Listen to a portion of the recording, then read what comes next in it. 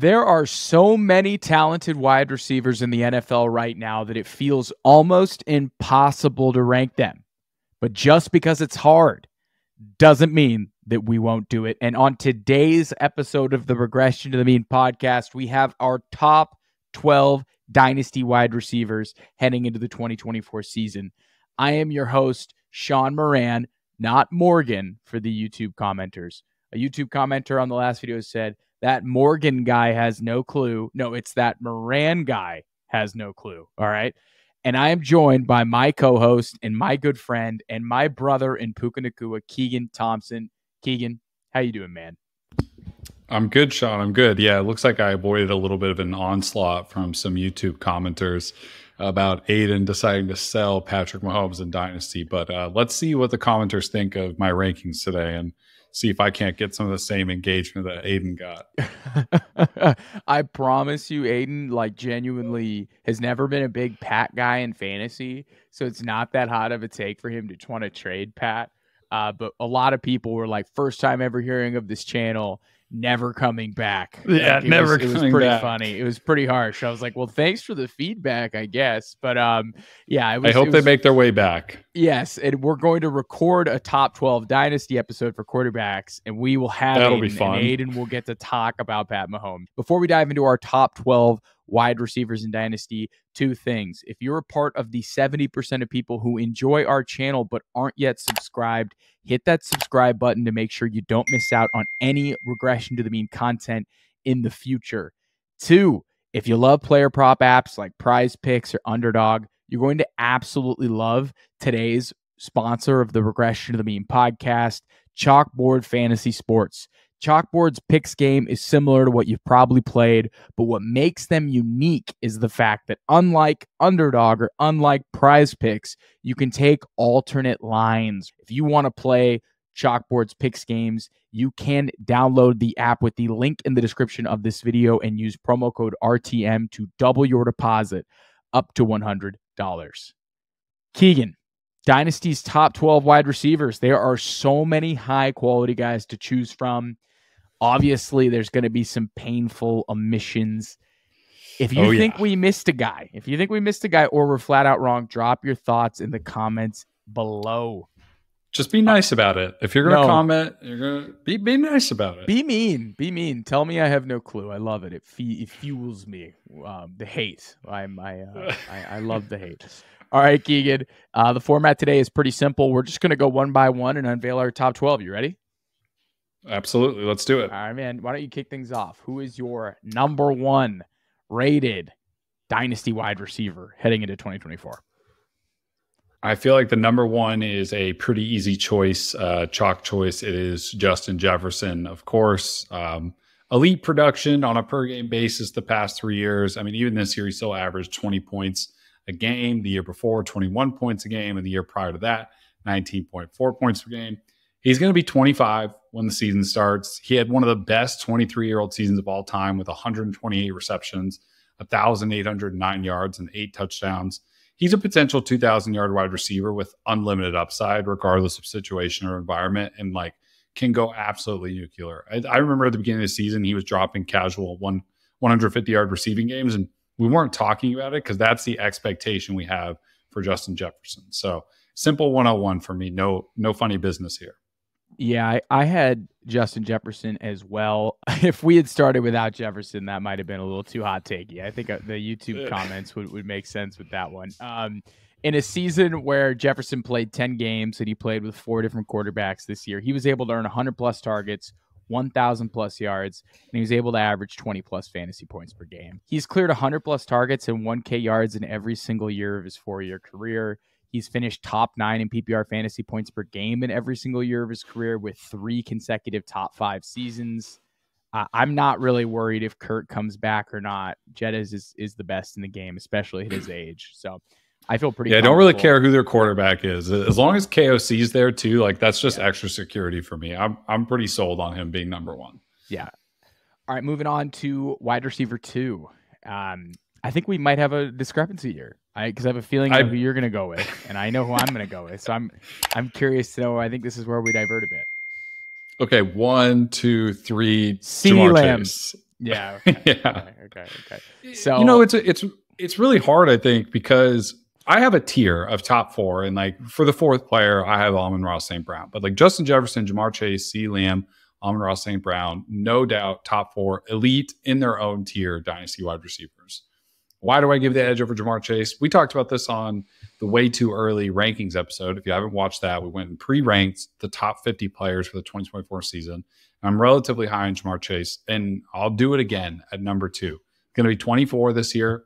Has averaged at least 16 and a half fantasy points per game every every year the past three years. Like just a mark of consistency, and he has the like insane ability to go nuclear nuclear on any Oh, given yeah. Sunday, right? oh, Like yeah. The 55 burgers, the the 40 point games, like things that you just don't see out of even like the elite wide receivers. And also just being tied to Ja'Marr or Joe Burrow, like one of the best young QBs in the league. I- I just give a slight edge to Ja'Marr Chase. He's he's been a little bit more consistent on a points per game basis the past three years from CeeDee, but it was really hard to choose who would be the second one for me. Yeah, it, it's been kind of a weird run out for Ja'Marr after his historic rookie season when he eclipsed 300 fantasy points. Because in 2022, he misses four games, but he still eclipses a thousand yards and 10 touchdowns, which is which is nuts. Uh, in Insane. 20 and I didn't even know how he came back from that injury the either. hip injury. Yeah, he cracked hip, which is insane. And remember, they were literally like he came back faster because he's quite literally built different. That was just Yeah. that was 10 out of 10. Uh, in 2023, he starts the season off super slow because of Burrow's calf, and then he goes absolutely ape shit for like three weeks. And then the season takes a super weird turn because Joe Burrow misses the rest of the year with a wrist injury. So it's not been back to back years where he's been productive, but it's just been just been a little muddy, right? Uh, When you compare it to CeeDee Lamb, which we'll talk about, purest run out you possibly could have this year for CeeDee Lamb. Like we, we have not seen that yet for for Ja'Marr Chase. Like on a PPR basis, he's finished no worse than 11th and no better than 5th over the past 3 years. I think the looming exit of Tee Higgins and Tyler Boyd make Chase an interesting buy target even if you have him at 2 or 3. Like he could go absolutely uh, scorched earth if his target competition goes away and his first read targets go up and Joe Burrow's healthy. I think just regardless, very few players possess the ability to go absolutely nuclear, like you said, than Ja'Marr Chase does. So uh, I, I, it's it's splitting hairs between Ja'Marr I Chase agree. and CeeDee Lamb at this point. CeeDee's a little bit older, and and, and my case for CeeDee Lamb to be wide receiver two in Dynasty, uh, he was the 2023 wide receiver one. Um, he's fresh off of posting career highs in yards, receptions, targets, touchdowns, and yards per route run. The Cowboys, whether you like it or not, are bringing back Mike McCarthy, and Mike McCarthy designed Mhm. this entire passing offense around CeeDee Lamb. So that's a very big positive for CeeDee. They're going to bring back Dak and sign him to an extension. I just think there's very little reason to believe that CeeDee won't continue to be the focal point of this entire Cowboys passing offense. Now, they might go acquire another receiver to pair with them. Who knows what they'll do, right? But I just want to put CeeDee Lamb's 2023 into context because it blew my mind. CeeDee Lamb's 405 PPR points this year were the second most points scored by a wide receiver in a season since 2013. It is the second best fantasy season a wide receiver's had since Cooper Kupp. So, at his age, his run out in terms of playing with McCarthy, playing with Dak, I feel pretty good about CeeDee. And, and that's why I had CeeDee above Ja'Marr, who's my guy. I think you made an interesting point about Ja'Marr Chase. Like, what do they do with Higgins and Boyd? And I think one of the reasons CeeDee Lamb was so successful is you said it like whether you like Mike McCarthy or not, you know what he did is he designed an offense that would funnel through CeeDee Lamb. Like in Ja'Marr's case, that's not always the situation where you have a Boyd, you have a Higgins in the passing game. Like it's no knock to Gallup and Brandin Cooks. I like both of them, but the offense went through CeeDee Lamb. And I'm all in on that, right? Like that is he's such a clear alpha. And when you have an offense that's designed to go through you, like you're going to put up monster numbers. And I appreciate that Mike McCarthy like did that. Yeah, I, I, it's kind of crazy how perfect of a run out CeeDee had this year, considering mm-hmm. Brandin Cooks was probably best case scenario should have been a wide receiver three on the team, but he was the wide receiver two. Michael Gallup is like, I, he looked good in the playoff. He's Michael game, Gallup. but like basically Jake Ferguson was the second best pass catching option in my opinion in this offense behind CeeDee Lamb. And and if that's going to remain the case, which it, it very well could be because they have to pay CeeDee, Yeah. they got to pay Dak, right? Like unless they're drafting wide receivers, which they very well could, it just seems like this offense is CeeDee Lamb. Like that's who it's right. Yeah. And if you don't like Dak, like that's one thing, but like Dak is still by all means, like in metrics, stats, a top 12, top 10 quarterback in the NFL. And if you compare one of the best wide receivers with somebody like Dak Prescott, I'll, I'll take that every day. Every day. Come on. Dak's had amazing years with Amari Cooper, amazing years with CeeDee Lamb. I'm Dak has been excellent at, at, really elevating pass catchers. And look, I think Dak, as a Niner fan, yeah, I, I, don't know if I'm buying him winning a Super Bowl or the NFC anytime soon, but this is fantasy football. Um, and we're, yep. we're, we're, trying to get guys who can get you the ball. All right, moving on to wide receiver four here. You said you have Amon-Ra St. Brown. I'm going to yes. interject, though, and I'm going to crown Puka Nacua my wide receiver four in, in all of Dynasty right now. This will probably be our biggest discrepancy on this show for sure. I have him all the way down to nine. My friend, you are too low. Okay, and here, here, here is why you are too you're too low, Keegan Thompson. Um, Puka Nacua is 23 years old, right? On Keep Trade Cut, he is the fifth wide receiver. So I'm one spot ahead of consensus on, on that website. If you if you like that website, right? Some people don't, but hey, it's it's pretty helpful tool when we're talking about value. Puka Nacua's 2.746 yards per route run is the second best yards per route run posted by a rookie over the past 10 years. The only guy to top him was Odell Beckham Jr. Statistically speaking, he had a better rookie year than Justin Jefferson, clearing him in yards per game, targets per game, yards per route run, targets per route run, and PPR points per game. I think Matthew Stafford and Sean McVay have definitely elevated fifth round Puka Nacua. I, I think that is 100% true. But the guy's rookie season was probably the best rookie wide receiver season of all time. I have comped him to Anquan Boldin for his combination of size, speed, hands, and just overall toughness. The guy takes so many hits and gets back up. He is is fearless over the middle of the field. I think he's easily a top five dynasty wide receiver. Now he is a little bit contingent, like his value, in my opinion, on Matthew Stafford and Sean McVay, right? Because I just think they're they're kingmakers. They make wide receivers they really elevate them. So I, I, understand that it's a little bit more contextual, but I also think he's a hell of a talent. Um, and just the way he plays the game is just it's a joy to watch. So Puka Nacua is my wide receiver for what you're saying about Stafford and um, Sean McVay. Like the only reason I have him so low is it's one year for his entire body of work, which is not a bad thing. I mean, he set rookie records. He's his prolific receiving play was insane. It, it legitimately was record breaking, but he is tied to one of the best games, uh, one of the NFL's best wide receiver elevators in Matt Stafford, who's 36. And I don't know what his future holds for. Obviously, I think he's going to come back another year. The Rams will kind he's of run confirmed. that back. Confirmed he's yeah. coming back next year. And, you know, he's a fifth round rookie, kind of like not coming out of nowhere, but you know what I mean? Like doesn't have the same draft capital and all that. Supplants Cooper Kupp as the Rams wide receiver one. Like you want to talk about pure runouts. Like Puka Nacua had such a pure run out where everything kind of went his way. Cooper Kupp gets banged up. He gets to shine in this role, gains trust from the staff, gains trust from Stafford. There's a lot to factor in and ranking. And I definitely think he should obviously a top 12 option. I just couldn't put him above players with a little bit more of a uh, kind of like data backed career that I can reference, but he plays football well. No doubt about it. He's only going to be 23 years old, like you mentioned. And I think people don't think about what an awesome mentor it is to have not just Matt Stafford, but Cooper Kupp in your corner, teaching you the ins and outs of the games, like one of the most savvy wide receivers. I even wrote in my notes, like, this is probably a ranking that I have wrong, but it was just hard to fit him above some of the other people that we'll talk about next. But I, I could easily change him and, and move him up for sure. So your wide receiver four is my wide receiver five, and that is Amon-Ra St. Brown tell us why Amon-Ra St. Brown is a top four option in Dynasty. You know, the the first tier I have kind of the cutoff is like it's like Justin Jefferson, Ja'Marr Chase, C Lamb, and then Amon-Ra St. Brown. Like that is, I think, my tier one of Dynasty wide receivers. And what's interesting about Amon-Ra St. Brown is he's not like CeeDee or uh, JJ Chase in the matter where like he probably won't. I think his highest point in like point total in standard PPR scoring is like 39 points. Like we haven't seen him. That's still pretty like large game, right? But it's not the nuclear level of crazy games that'll win you an entire matchup on their own. But the thing is, like, he's so consistent. Like, he's been the mark of NFL wide receiver consistency since his career started.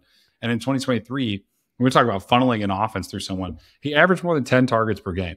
He was averaging about nine yards per target. I mean, with Jared Goff and their offensive system. Now, if Ben Johnson leaves, I don't know if I'm worried about Amon Ra, maybe some of the other offense, but like this is an alpha in his own offense that will get the offense funneled to him, hence the 10 targets game. He's seen his points per game average jump every year. He's been in the league, and he finished this season averaging 20 points a game. He's like one of the few wide receivers that I can put in my lineup. That's why I have in this top four. Like these top four guys, I put in my lineup every week, and I feel like I'm getting a guaranteed 17 to 25 points, like even on bad days, right?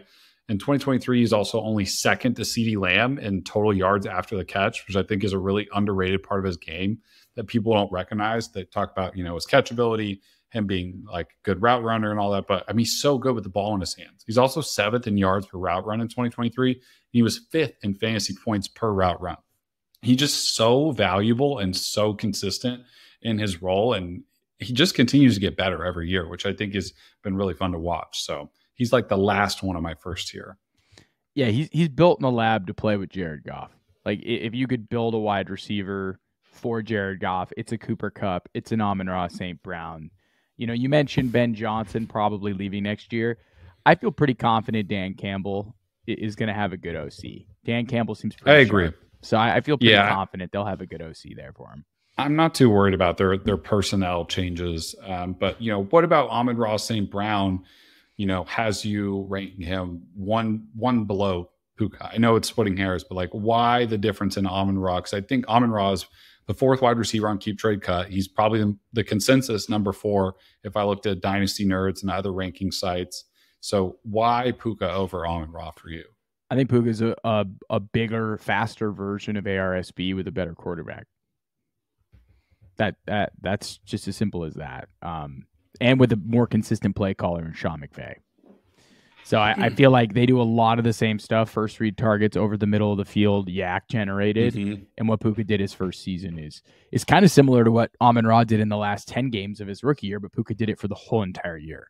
So yep. I just think Puka's a, a younger version of Amon Ra St. Brown that's bigger and more explosive playing in a better offense with a better quarterback. And it's just splitting hairs, dude. I mean, I mean, ARSB is going to remain a favorite for 150 targets and 100 plus receptions every single season he's healthy and playing with Goff. So, it, absolutely, it's it's really just. I think I'm going with the historic season in Puka Nacua and thinking that he can build on top of that. That that's kind of where I'm at with with Puka over yeah. ARSB.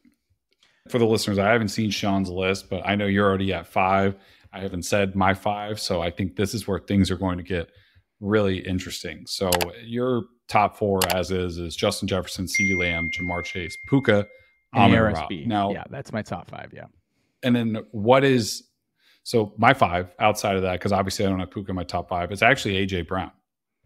I had AJ Brown at six. AJ Brown's at six. Okay. So let's. Let, so we're close on that. Yeah. Actually. Yeah, yeah. So I I love AJB. Let's where why do you have AJB say at five ahead of, of ahead of Garrett Wilson, who I thought you would have at five here, to be honest.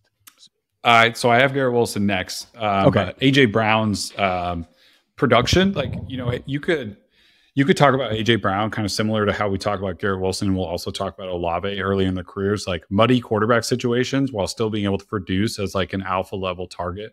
And then when you bring AJ Brown to the Eagles, in two seasons, he's totaled 2,900 yards and 18 touchdowns since joining the Eagles. He also has the benefit of like what Ja'Marr Chase does. And he's got one of the young stud QBs in the NFL who's also locked up to a long term deal. And even with a little bit of Jalen Hurts regression this year, AJ Brown was still a monster. You know, when he's on the field, I feel like he's kind of in this safe category of fantasy football players that Amon Ra St. Brown is in. I know what I'm getting week in and week out with him. And he's 26, all going to be 27 going into the season. So he's like the oldest wide receiver I have in my top five. He's actually the second oldest on this list, but like that's your prime. You know, he's still entering his prime, playing with a really good quarterback, and he's the number one option. He has such a like he has a longer and like more like what's the word I'm looking for? Like he has a more reputable body of work than track Garrett record. Olave. He has, he's got a, he's like, got a yeah. track record of, of being a consistent fantasy performer. Like since his rookie year, he, he's cleared 17 plus fantasy points per game in three out of four seasons. And the only year that he didn't was his last year in Tennessee, where he was like injured throughout the whole year. So th- this guy's been putting up fantasy points for four out of five seasons because his his second half of his rookie year was special. So he he's been very good in fantasy for for almost five years now since he stepped on a and, field. And like you just like throw out all the metrics. Like AJ Brown passes my eye test for football every time I watch him play. Like I watch him, I'm like, that's a fucking wide receiver right there. He's he's built like really To. He's built like Terrell Owens, and he's got the attitude of To too. He's he's got the prima donna wide receiver vibe. You, you know, he, he's backed that. it up too. He's backed it up too. Um, I think your wide receivers, like your elite wide receivers, need to be some type of prima donna, like to be successful in the league. Like I'm all in on wide receivers who have a little bit of an attitude problem attitude or just lunch pail wide receiver. Just like like I need either Yeah, I need, no in between. Yeah, I need the guy either just like needs to get buckets and be gritty or he just needs to be like the biggest like prima donna on the sidelines. So right now we're only kind of like one or two off in the rankings here, but what is what is your 7? Since you're you've got Puka pushed up, so what is your 7 after AJ Brown? I got Garrett Wilson.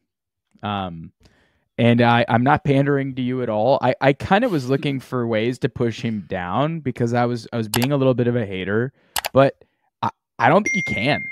Like I, I really don't. He said 140 plus targets and 1,000 yards in back-to-back seasons to open his career with some of the worst imaginable QB play possible, and and that kind of just tells us that Garrett Wilson has the potential to break fantasy football when he's able to get a real QB. Like how good would Garrett Wilson be if Matthew Stafford was his quarterback? He right? probably got like, two thousand yards. Like I'm, I'm not trying to be biased. Yeah, like I've heard yeah. other people make that comment, and yeah, I think from a number standpoint, I sat here and like I tried my best to remove all my Jets bias, and like I, I had trouble putting him this high, like especially about my next player who has like historic production at the wide receiver position. But if I factor in age, and circumstance, like you said, it's so easy to make an argument from him. He's the second youngest wide receiver on this list, only behind Puka. He was the NFL Offensive Rookie of the Year with Zach Wilson, Mike White, and Joe Flacco playing QB behind a terrible offensive line. This year, he posted a thousand yards receiving with Tim Boyle, Zach Wilson, and Trevor Siemian. And then if you just go look at the 2023 usage, he is one of, if not the biggest positive regression candidates based off expected fantasy points and total point production. And like the QB position for him is uncertain down the line in his career, right? But if I just look at the next two years, he probably gets A Rod back in 2024. And unless they win a Super Bowl, I bet we get an Aaron Rodgers back for 2025 as well, too. And like we're really expecting Garrett Wilson to become his next Davante Adams, right? So it's easy to say, like, oh, his point production per game is not great, you know, but if I know the situation he's produced in, it's pretty easy for me to have him set just based off age and like capable skill talent level, it's so easy for me to like put him right here, knowing what could be in the future. And is Aaron Rodgers going to be that guy in, at age 40? I don't know, but we're we're talking about he needs to just he doesn't even need average. to be. He just needs to be yeah. an average quarterback because Garrett Wilson's first read target share is, is top five. And if you've heard us talk about first read target share. It's really the key to fantasy football. If your wide receiver is getting the first read targets, they're just going to be an alpha. There, it's where all the fantasy points are going in the passing game. It's all there for Garrett Wilson. We just need someone to be just even remotely competent for him to hit home. And yeah. and because of that, you got to bet on talent in, in dynasty sometimes and uh, talent over situation. And I, I think Wilson's seven for a reason there for me. Who do you have at seven? This was tricky for me, and I found it hard to do so because I like to factor in age when it comes to dynasty. But how do you not have Tyreek Hill as a top 12 dynasty wide receiver option, right? Like from an age standpoint, he's the oldest player on the list. He'll be 30 when he enters Next in this year. season. And yeah. and he's made comments himself that his career could be winding down. Uh, talks about potentially only playing a couple of years, but like age aside, he still looks like he's at the peak of his football po- like powers. Yeah, just set a career high led the league in receiving at 29 years old, has had at least 20 points per game in the last two seasons and 17 points per game in the 2021 season. In 2023, he averaged 112 receiving yards per game, and he was just short of averaging a touchdown a game as well. Like that is an insane season at 29 years old. Until I see otherwise or see a drop off, I'm not going to have him like ranked down just because of his age. He's also in a really unique situation where the offense is so catered to his best skill set. And it's like, let's get this guy in the open field, use your elite speed and acceleration and take off once you have the ball. And like his ball tracking skills are like second to none in the league. Plays above his size all the time. Crazy YAC ability. And whether I like to or not, like this is the offense that brings the best out of Tyreek every Sunday and puts him in so many favorable scoring situations. It's hard for me to not include him in this list. Yeah, and we talk about first read target share. It's Davante Adams and Tyreek Hill, and that's how it's been for the past like two seasons, right? So I have Tyreek Hill as my wide receiver eight in Dynasty. I don't care if he's age thirty. Um, aging out is a real thing, right? Players hit the age cliff. Age thirty for wide receivers is kind of similar to you know age twenty seven or twenty yeah twenty seven for running backs. But look, when you're a Hall of Fame caliber player, Hall of Fame players tend to avoid the age cliff a lot longer than non Hall of Famers. Just look at Derrick Henry. I think Tyreek Hill is is like that for wide receivers. So I, I, think you're at least getting two to three more good years out of Tyreek Hill.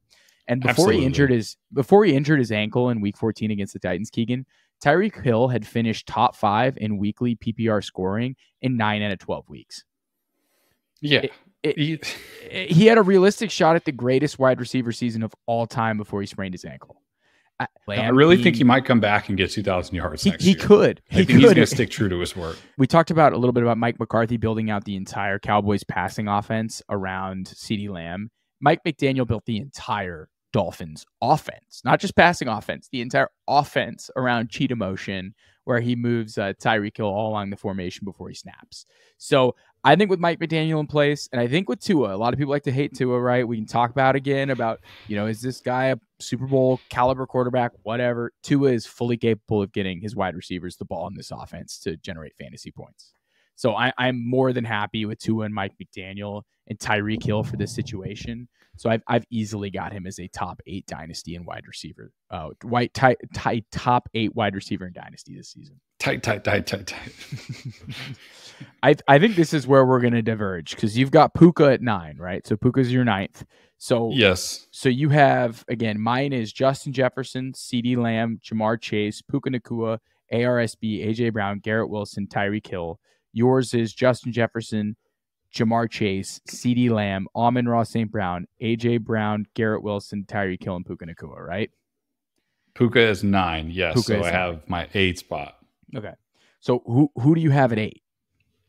It's it's another wide receiver who's played and succeeded in really murky quarterback situations, and it's Chris Olave, the Ohio okay. State teammate of Garrett Wilson. He's the third youngest wide receiver on this list, like barely being younger than Garrett Wilson, has also started his career with back to back 1,000 yard seasons, having at least 72 receptions and 119 targets in each season. This year, Derek Carr and him just couldn't seem to get on the same page. Like there was so much meat left on the bone for Chris Olave's fantasy it season. It was so weird. Sixth in air yards this year, like had an aDOT of 13.3, saw 32 deep targets. Like they just could not connect on that part of the game that I think Chris Olave is very good. But outside of the deep stuff, he's such a polished and talented wide receiver. He had a case for offensive rookie of the year and was obviously beat out by Garrett Wilson, but he's going to enter this season as only 24 years old.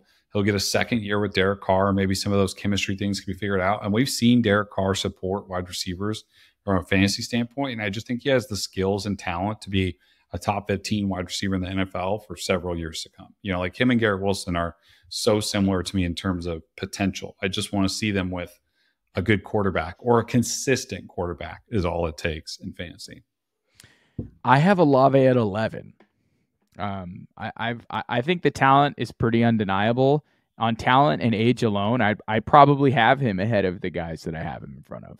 Um, but it, it's been a bit disappointing so far for Olave. Not at yards, not at like receptions, not at the underlying metrics, but just in fantasy points, it's been a little bit disappointing. And I, I drafted him pretty heavily in, in fantasy this year. He he was pretty good, but he he, wasn't that good. You know what I mean? I, I, drafted him at the end of the second round, early third turn, and I, it was weird. He just couldn't find that consistency with Derek Carr, even though Derek Carr found it with Rashid Shaheed, who I think is like a really good sleeper receiver. I, think the thing with Olave that's holding him back is touchdown regression. you know, he's going to run into like eight or nine touchdowns here pretty soon. And then all of a sudden, mm-hmm. his fantasy numbers are just going to spike, right? Because he's only scored, I think, four touchdowns, I think four and five in back to back years. Considering his yardage, his air yard share, his first read target share, his total target share, like you would think this guy would have more touchdowns, but it just hasn't really happened yet. And they're bringing in a new offensive coordinator. So maybe they overhaul this offense, they bring in fresh blood, and then all of a sudden, you know, Chris Olave is kind of a buy low candidate.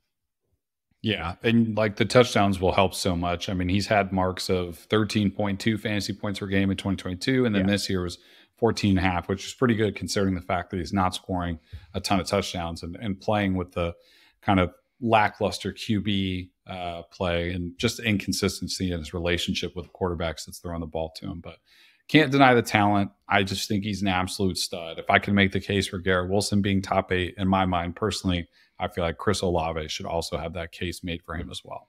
I, am a big fan. I'm, I'm a big fan, but I've turned into a bigger fan of the guy that I've I've got ahead of him now at uh, at wide receiver nine, and that's uh that's the 25 year old Houston Texan Nico Collins. I've got him as the wide receiver nine uh, in, Dynasty right now, and and that's high. His KeepTradeCut's 11. He's been flying up in value. So obviously, people are are wisening up to who Nico Collins is as a player we dropped a, a series, a two part series of January buys and sells. Nico Collins was my, my featured January buy. And I went through the whole process of why he's a super talented player, regardless of CJ Stroud. Like his year two yards per route run playing with some of the worst quarterbacks in the NFL was still higher than like Calvin Ridley and Tee Higgins in 2023 he he led the Texans when him and Tank Dell were playing together in pretty much every single metric outside of touchdowns, right? So it, Nico, when him and Tank were on the field, Nico was the clear wide receiver one. He was the one A to Tank's one B. Um, the, the the thesis again in, in Dynasty, in my opinion, with Nico, he's tied to a top five QB in in, in CJ Stroud. Whether or not Bobby Slowik continues to be their head coach, he was a first time play caller. So if Bobby Slowik comes back next year to call plays, I think he's going to improve. And I think the play calling is going to get better. And I think things are going to open up for this Texans offense. No more run, run, pass, Bobby. no, no, more run, more pass. Uh, he, he's still, Nico's still only 25 years old. And this stat absolutely blew my mind. So since 2013, only four wide receivers have had an individual season where they have cleared three yards per route run. Those receivers are Tyreek Hill, Cooper Kupp, Julio Jones, and Nico Collins in 2023. Crazy list to be on for yeah, him. Crazy list. I think we've only begun to scratch the surface of what Nico Collins is able to accomplish in fantasy football. I love the fact that he's an excellent receiver at the point of catch, and he's also just nasty in the YAC game. So I'm I'm all in on Nico Collins as my wide receiver nine. Did he make your top 12? He didn't. I have some fringe guys we'll talk about when we get to the end that are uh, right outside the top 12. And to be honest, when we go over my 11th and 12th wide receivers, I think I might just have like, I don't know what it is, like maybe just some take lock on those two, but we'll discuss uh, some people I had on the fringe outside of this. But we know my number nine was Puka Nacua. Yeah. Um, so now I think we're officially all caught up and and we're at 10 here. Um, yes. And my 10, uh, playing to my my boss's liking here is uh, Brandon Aiyuk. I have catapulted him very high. Okay, I've got him at twelve. I think the case for him is just like we talked about it on um, the top 50 episode again. That I'll, I'll, mention that again, but just like he's so efficient, like so efficient with with the ball in his hand. Like let me rip you some stats from 2023. Second in EPA, second in yards per reception, second in yards per target. Third in yards per team pass attempt and third in yards per route run.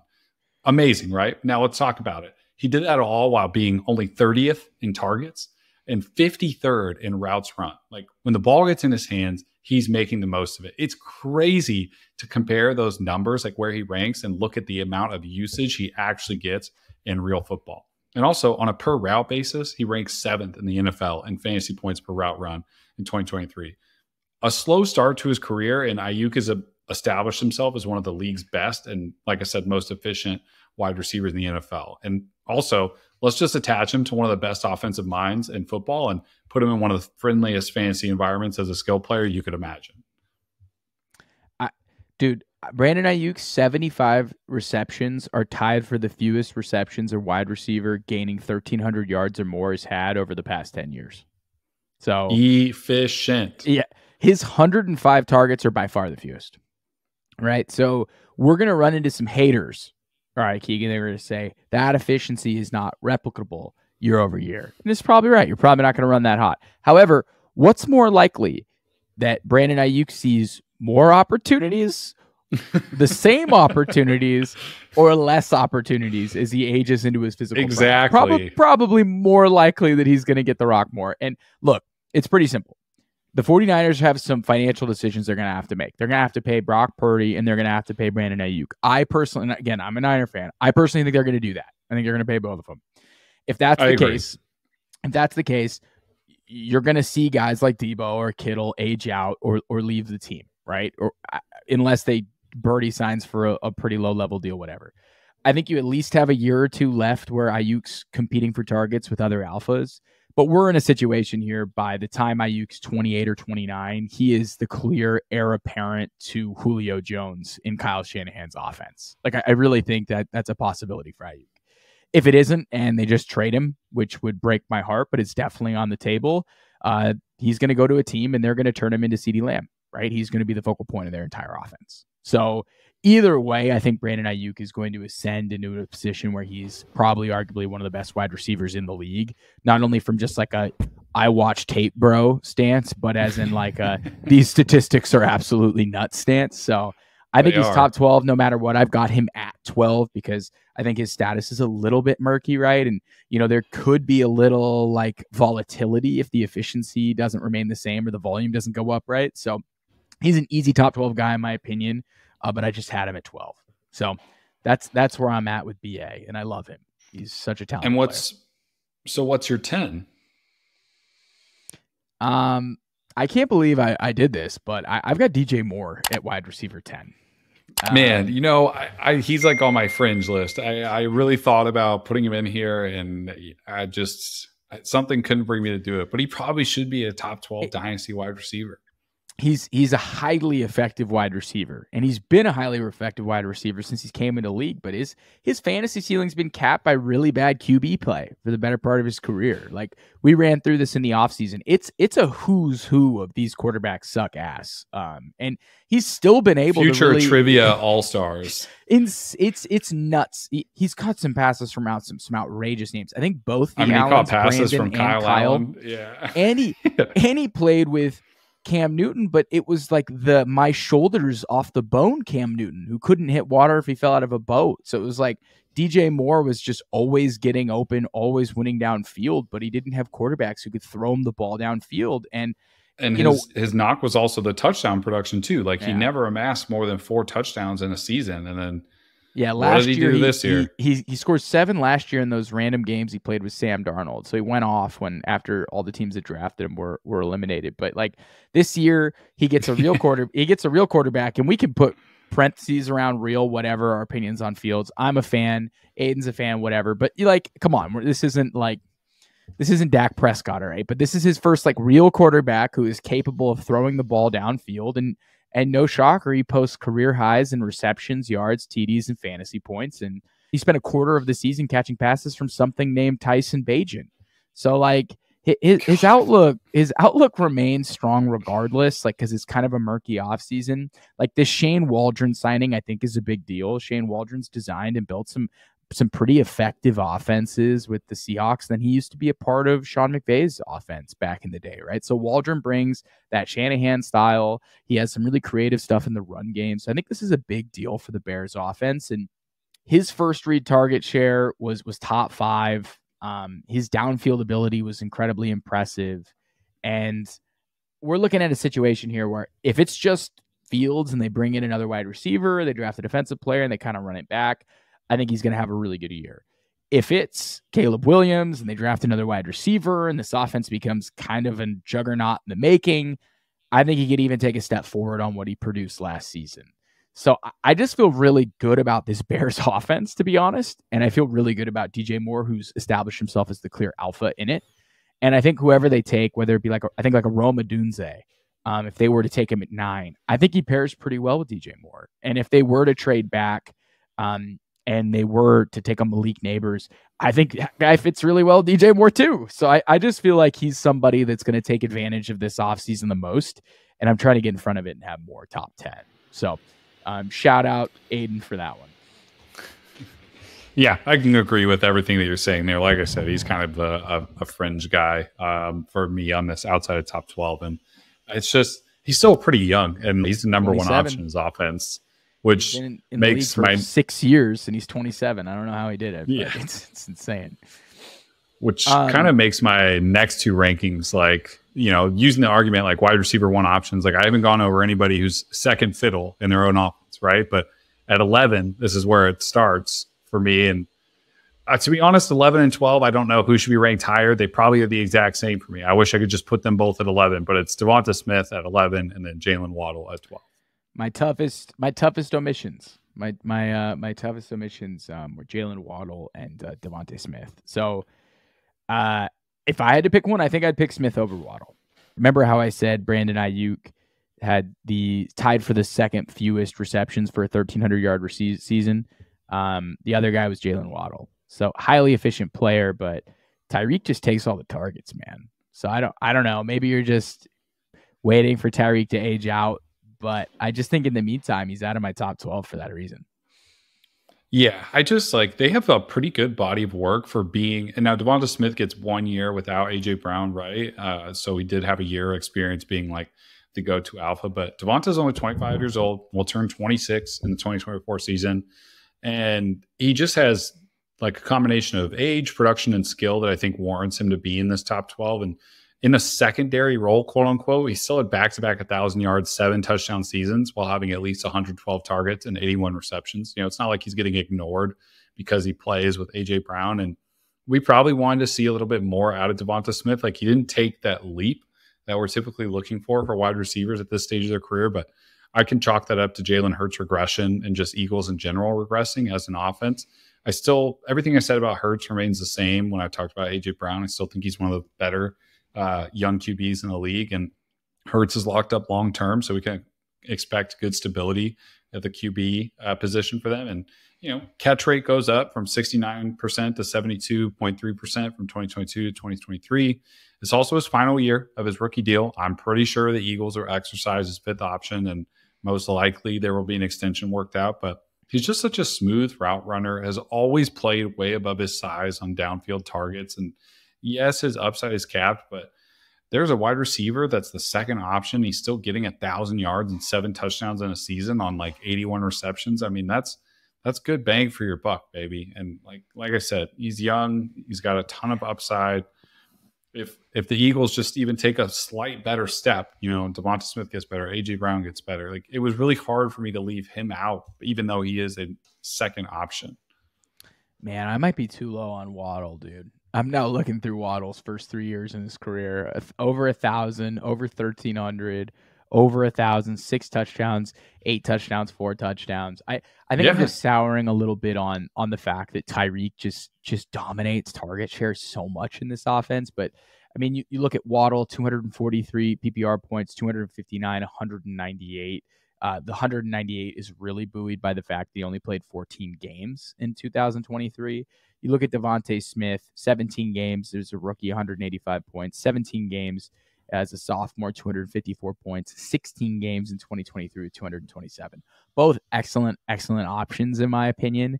Um, I just think like you could make Devonta Smith an alpha if he were to go be the number one in an offense. I, I just don't know if if Jaylen Waddle would be, and I know that might be hard to prove and the big playability is just so um, incredibly enticing with Jaylen Waddle. Um, oh, that's tough, dude. I it's those are tough omissions. They're they're both so it's, good, age twenty five. You know. Yeah, they're the exact same age, like same year. Like they're both about to enter into their like Alabama like contract end of the year rookie years, right? Like oh, yeah. they are both such amazing options to the wide receiver position. And like, sure, if Tyreek Hill is in the offense, like that's obviously going to cap some of his ceiling, but like, you know, 2023, it's not like he was like some schmuck, right? He's still yeah. the 10th most fantasy points per route run. He was fifth in yards per route run and also 12th in total yards after the catch. Like he exceeds in this offense that's tailor made for Tyreek because he has the same insane skill set of wild speed that you can't see just anywhere and insane acceleration, like an offense set up for success. But like you mentioned, three 1,000 yard receiving season straight, getting over 100 targets in each season, at least 72 receptions. I mean, the guy is good at football. And if Tyreek's only going to be around for one more year or two more years, why would they not extend Waddle like after this year comes up? Like, sure, they'll exercise the option, but like they probably want to get an ex- like extension done. Mike McDaniel's still there why would I want to bet against that? And maybe Tyreek only plays two years. Then Jaylen Waddle's like at the kind of peak of his prime age wise and just like physicality wise. I like keeping Jaylen Waddle in here for the bet on like there's more to come for him. Yeah. It, yeah, it's tough. There's, they're tough omissions, man. The receivers are so good, so deep. They're um, so good. I mean, the, the guys that I have outside that I'm yeah, looking at are like who is deep, your I guess yeah. Who who is your toughest submission? And I've got I've got another question for you um, for to to wrap things up. DJ Moore was really really tough. Like I wanted to put him in there so bad, and like this is just a full circle moment for me after going like full fade on the offseason on him. But like I wanted to put Michael Pittman in my top 12. Oh man. So bad. He's legit, he's legit, dude.